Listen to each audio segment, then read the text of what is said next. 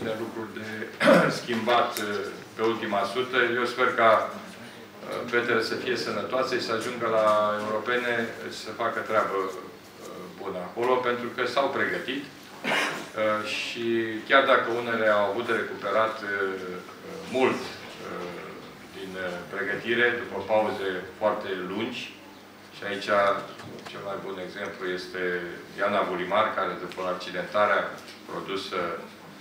în ultimul moment, înainte de plecarea la mondiale, uh, anul trecut a avut de parcurs uh,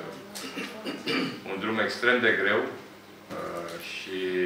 numai cine n-a trecut prin așa ceva și mă uit la Sandra, nu poate să înțeleagă ce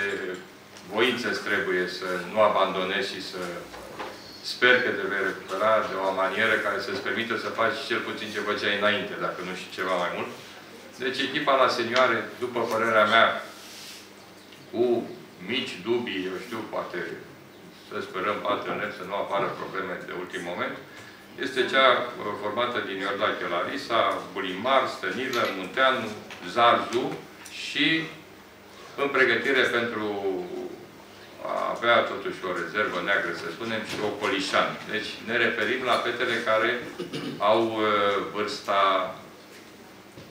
de 16 ani